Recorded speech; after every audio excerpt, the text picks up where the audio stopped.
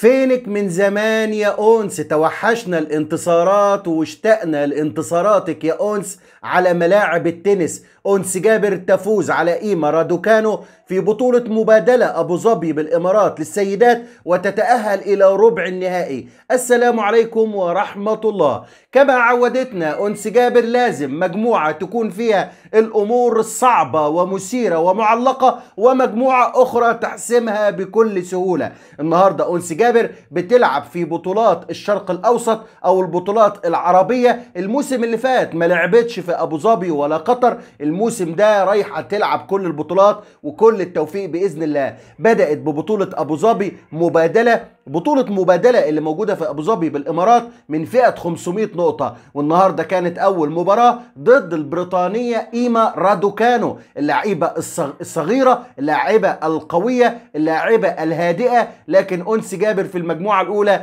خوفتنا. بعد ما كانت متقدمة 4-1 ويعني خلاص هتخلص المباراة. وقلنا المباراة سهلة والمباراة لأول مرة أنس جابر هتخلصها بدري بدري. ولكن كالعادة أنس جابر تصعب على نفسها المجموعة الأولى وتخليها يعني خمسة مقابل أربعة وبعدين تحسمها ستة مقابل أربعة. وزعلنا منها لأن المباراة كانت سهلة والمجموعة سهلة وصعبتها كالعادة على نفسها. ولكن حسمت المجموعة الأولى بالخبرة ستة مقابل أربعة وسط تشجيع كبير من الجماهير الحاضرة. اللي كانت بتدعم أنس جابر في مدرجات الملعب. عايز أقول لك في المجموعة الثانية أنس جابر تفوقت بالطول والعرض.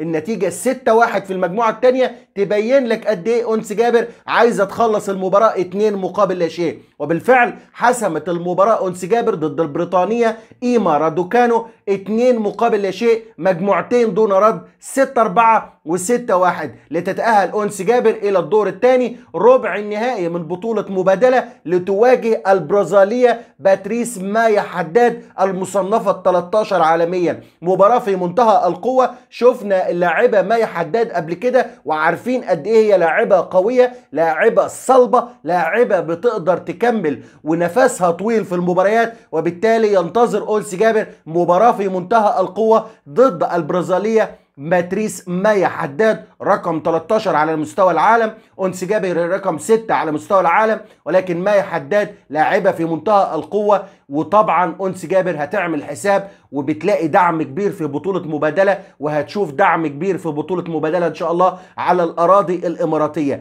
المباراة اللي هتكون يوم الجمعة إن شاء الله القادم على طبعا على الملعب في أبو ظبي وبالمناسبة قناة أبو ظبي الرياضية بتنقل المباريات بتعليق عربي النهارده. بصراحة كان تعليق مصري مميز من حي المعلق النهارده. أمتعنا بالتعليق على انس جابر وايما رادوكانو وكنا فرحانين وإحنا بنتابع انس جابر وهي بتلعب على الملاعب الإماراتية والجماهير العربية بتدعم أنس جابر كل التوفيق النهارده مباراة كويسة انتصار يجيب انتصار والبداية كويسة والبداية فيها تفاؤل والبداية فيها قوة ما عدا المجموعة الأولى اللي تخوفنا منها بعض الشيء. ولكن أنس جابر الحمد لله تتأهل على حساب ال ال البريطانية. إيما رادوكانو وتروح لربع النهائي عشان تلاعب البرازيلية مايا حداد. أنس جابر بعد الانتصار وهي بتبتسم بتقول أنا معجبة كبيرة بإيما رادوكانو آمل أن تعود وتفوز بالكثير من المباريات. ليس ضدي كل شخص لديه قصة مختلفة. يعني أنس جابر مبسوطة من إيما رادوكانو وطبعا الضغط اللي عملته إيما رادوكانو في المجموعة الأولى يخلي أنس جابر تقول كده لكن خلي بالك يا أنس رايحة لمايا حداد اللاعبة اللي نفسها طويل اللاعبة القوية البرازيلية صاحبة الأصول العربية وبالتالي أعتقد لازم تركزي من أول دقيقة لآخر دقيقة الإرسال.